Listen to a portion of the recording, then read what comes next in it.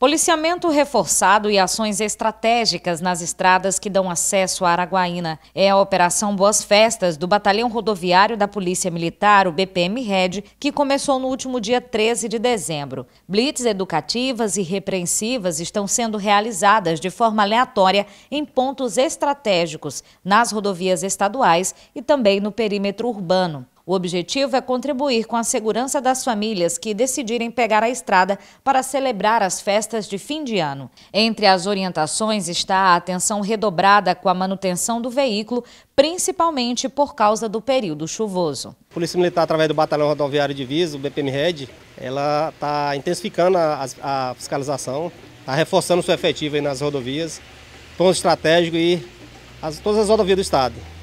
Nossa área aqui exclusivamente na região de Araguaína.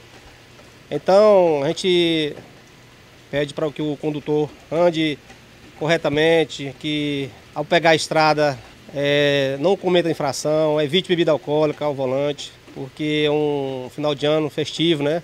As pessoas geralmente viajam para fazer as suas confraternizações com os familiares, então a gente pede que tenham cuidado, que é o bem nosso maior é a vida, que ao viajar, faça uma visita ao seu mecânico, faça revisão no, no seu veículo, olha o sistema de iluminação, pneus.